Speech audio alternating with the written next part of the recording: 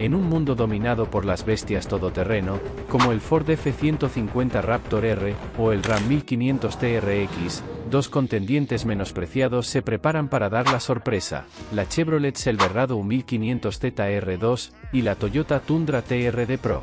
Pero, ¿cuál de estos será el mejor? Conozcamos un poco de ellos.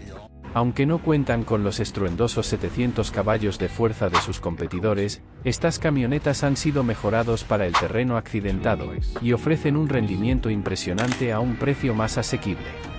El Silverado, una auténtica bestia del rocoso camino, ostenta bloqueos de diferenciales delantero y trasero, una suspensión ZR2 con amortiguadores Multimatic DSSV, una completa armadura de protectores de bajos, y neumáticos todoterreno Goodyear de 33 pulgadas.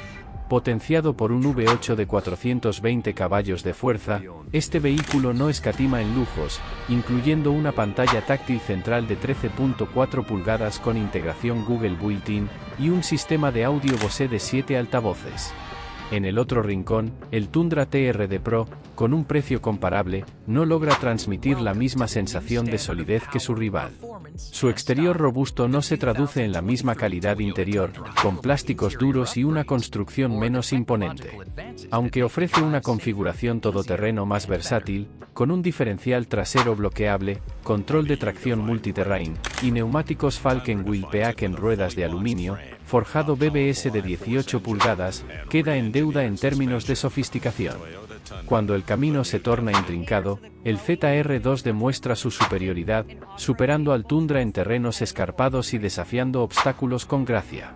Con una altura impresionante de 11.2 pulgadas y ángulos de enfoque y salida que desafían la gravedad, el ZR2 exhibe una capacidad excepcional para superar cualquier desafío todoterreno. El Tundra, por otro lado, se enfrenta a dificultades.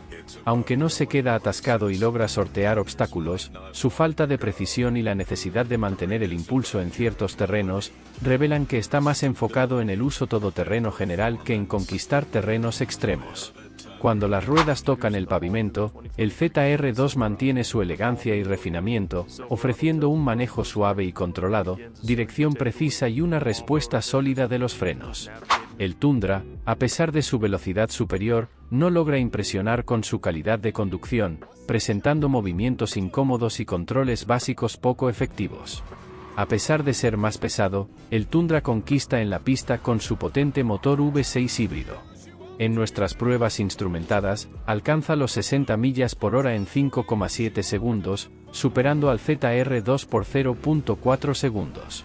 La combinación del motor V6 híbrido y una transmisión automática de 10 velocidades ofrece una respuesta rápida y sin interrupciones. Por otro lado, el ZR2 presenta un imponente V8 de 6,2 litros que deleita a los amantes de la potencia. Su sonido genuino, a diferencia de los sonidos falsos que Toyota inserta en la cabina del TRD Pro, y la respuesta precisa del acelerador, hacen que este motor sea una delicia.